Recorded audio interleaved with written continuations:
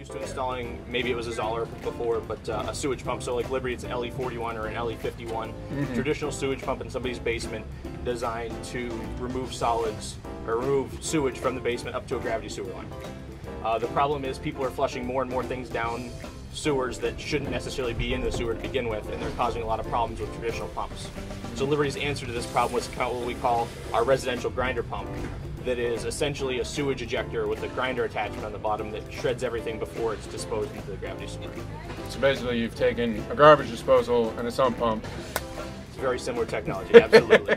yes. Just mashed them together. So that's that's the grinder. huh? Yeah, so this is what this is what's on the bottom side of that grinder pump. These are two pieces of hardened stainless steel. This is a, a system that's designed to last the life of the pump.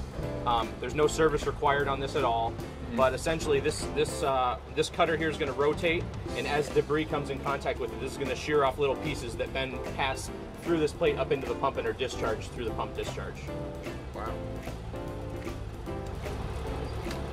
You ever install this in a house that has a septic system? It's a question we get a lot. Um, the answer is a little bit gray.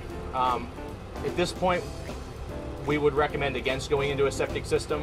Um, there's certainly people that have done it and, and have not had problems, but uh, it's it's a it's a gray area at this point. It's a new technology that really hasn't had time to prove itself in those applications. Okay. I guess people who are on a septic, if they're gonna do something like that, they just need to be a lot more careful about what they put down in their toilets. But they do that anyway. Right, so- and, and really, this isn't going to be a lot different. If you have a septic system and you already have a sewage pump installed, this isn't going to be a whole lot different for the traditional things that go through there. Human waste, toilet paper.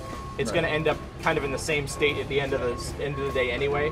Um, the only issue that you can run into in a septic is if you have a lot of foreign debris, things like baby wipes, cleaning wipes, things like that. If you put a lot of those down your toilet and they go through this grinder pump, the grinder pump will take care of them very easily. But those are the most uh, problematic solids that can get into the sewer system, or septic system. Excuse me.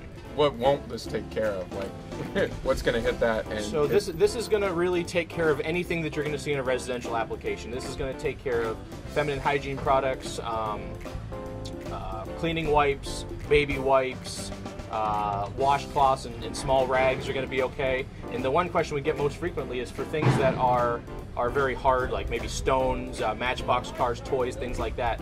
Because of the way this cutter is laid out in these very small holes, those larger solid objects no, never have a chance to get into the holes to try to be cut up.